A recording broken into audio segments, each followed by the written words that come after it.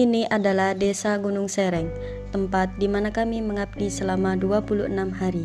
Tempat dengan akses yang terbilang cukup sulit dilewati. Tempat di mana air adalah emas cair bagi setiap warganya.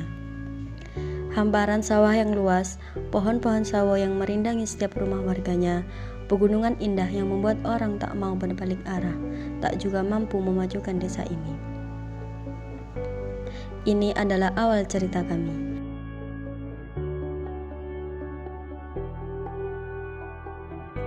Bertemulah kami dengan para warga yang setiap pagi telah mengantri air. Dan ini adalah Pak Ruswan, seorang pria yang cukup berumur dengan semua harapan yang dia pikul setiap harinya. Berkilometer jauhnya mencari air untuk keperluan anak dan istrinya di rumah.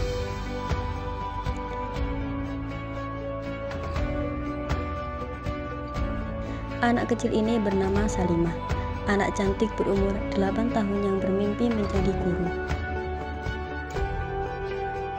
Semangat belajar Salimah dan teman-temannya akhirnya sampai kepada kami untuk terus semangat mengajari mereka di sekolah mereka. Serta bermain dan belajar apa pun selepas sekolah dan setiap sore di posko kami.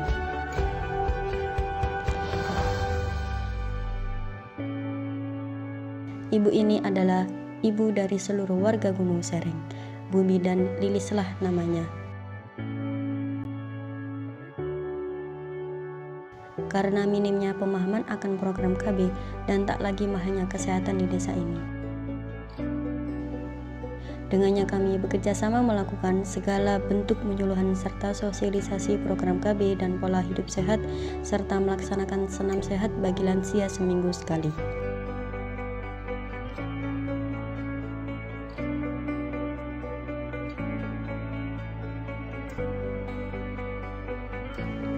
Tak lupa pelaksanaan suntik difteri gratis untuk anak dan balita sehingga adik kecil ini akan tumbuh sehat dan kuat kelak nanti.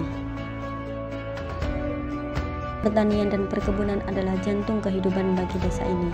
Hambaran sawah yang luas tak lagi berarti kala kemarau datang yang membuat warga tak lagi beraktivitas.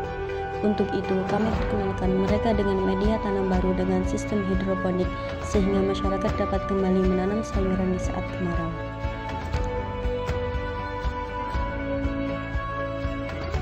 Dianugerahi banyak pohon sawo di desa tak juga membantu banyak perekonomian warganya. Karena jarak tempuh kampung dengan pusat keramaian membuat nilai jualnya menjadi tak sebanding. Maka kami sosialisasikan dan memberikan sedikit cara pengolahan lain dengan perbahan dasar sawo, seperti dodol sawo dan juga keripik sawo yang diharapkan dapat meningkatkan nilai jualnya.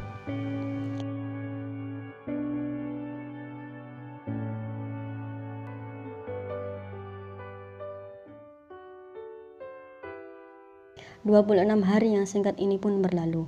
Sejak kedatangan kami saat itu hingga detik ini, kami menyadari bahwa kedatangan kami tidak sedikit pun membantu untuk kemajuan desa ini. Kami menyadari bahwasanya semua apa yang telah kami beri ini tidak sebanding dengan apa yang telah desa ini beri kepada kami. Bagaimana Pak Ruswan mengajari bahwa keluarga adalah prioritas utama di atas segalanya bagaimana semangat Salimah dan teman-temannya menyadarkan kami untuk terus bersemangat mengejar mimpi tanpa henti dan tak berpasrah diri. Lalu bagaimana sulitnya air dan sulitnya akses ke desa ini mengajari kami hidup dalam segala keterbatasan. Bagaimana seluruh lapisan masyarakat mengajari kami mencintai kebudayaan. Bagaimana mereka mengajari kami arti kesabaran sehingga kami mengerti tempat belajar kehidupan sebenarnya ialah di masyarakat. Terima kasih Gunung Sereng, kami senang dan akan terus terkenal. Ini akhir cerita kami. Terima kasih Tuhan.